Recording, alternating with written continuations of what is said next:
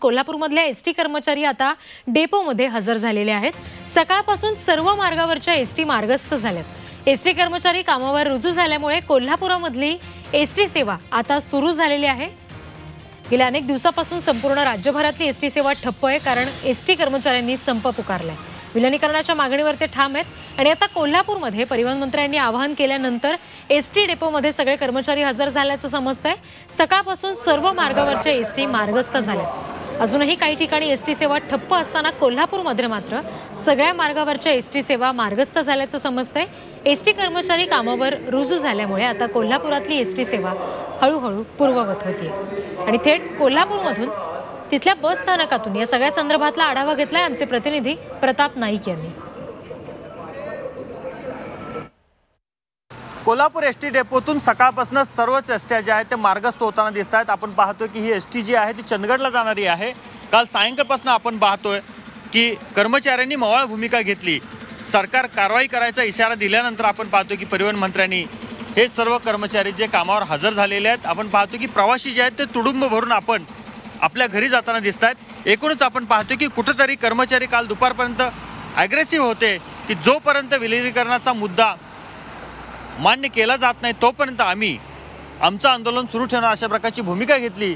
पण नंतर मात्र या कर्मचाऱ्यांनी कामावर हजर होणं हे महत्त्वाचं असल्याचं मानत कामावर हजर झालेले आहेत सकाळपासून आपण पाहतो की ज्या मार्गावर रूट ठरलेले आहेत त्या मार्गावरच्या बसेस ज्या आहेत त्या एस टी स्टँड परिसरात दाखल झालेले आहेत आणि आता त्या मार्गस्थ होताना दिसत आहेत आपण पाहतो की जो प्रवासी आहे तो गेल्या अनेक दिवसापासून अक्षरशः वैतागला होता. कारण त्याला जाण्यासाठी दुप्पट तिप्पट चोपट पैसे मोजावे लागत होते पण आता मात्र आपण पाहतोय की एस टी कर्मचारी कामावर आल्यामुळं प्रवाशांमधून एक समाधान व्यक्त केलं जात आहे. Cameraman Omkar Girsa Pratap Naik Zee media Kolhapur. S T कर्मचाऱ्यांना पगारवाढ दिल्यानंतर सुद्धा संप सुरू ठेवला तर पगारवाढीचा पुनर्विचार करावा लागेल अशी आक्रमक भूमिका आता परिवहन मंत्री अनिल परब यांनी घेतली आहे. संप सुरू असताना आता वाटाघाटी होणार नसल्याचं परब यांनी स्पष्ट केलंय.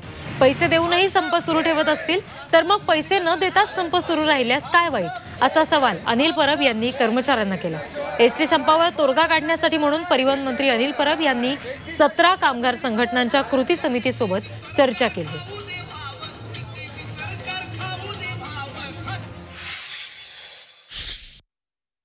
सतत आर्थिक भार स्वीकारत राहायचं आणि त्याच्या बदल्यात एस टी बंद ठेवायची असं देखील होणार नाही. सरकारला विचारच करावा लागेल की पैसे देऊन संप चालू राहणार असेल तर पैसे न देता संप चालू राहिला तर काय वाईट आहे? आज सरकारने पगारवाढ दिलेली असताना कामगार जर संपावर ठाम असतील तर ह्या पगारवाढीच्या बाबतीत देखील काय करायचं? हे देखील आम्हाला ठरवावं लागेल. की विलिनीकरणाची मागणी आमची आहेच परंतु पदनिहाय वेतन श्रेणीसह सातवा वेतन मिळावा आणि त्यासाठी दहा वर्षाचा आम्ही म्हणजे करार चार वर्षाचा असतो. दहा वर्षाचा करायला आम्ही तयार आहोत हेही स्पष्ट केलं आणि त्यावेळी त्यांनी एक आठ दहा दिवसामध्ये त्याच्यावरती वर्कआउट करून वाहतूक झाल्यानंतर मी तुम्हाला ते करेल अशा प्रकारचं वक्तव्य त्यांनी केलेलं आहे. तेव्हा राज्य सरकार एवढा पगार आम्हाला मिळाला पाहिजे यावरती आमच्या दोन्ही मंडळींचं म्हणजे कृती समितीचं आणि मंत्री महोदयांचं एकमत झालेलं आहे. आणि मुख्य विशेष बाब म्हणजे त्याचं सर्व आर्थिक बर्डन त्यांनी राज्य सरकारकडे घ्यायचं मान्य केलेलं आहे. लाल मातीतली कुस्ती. म्हणजे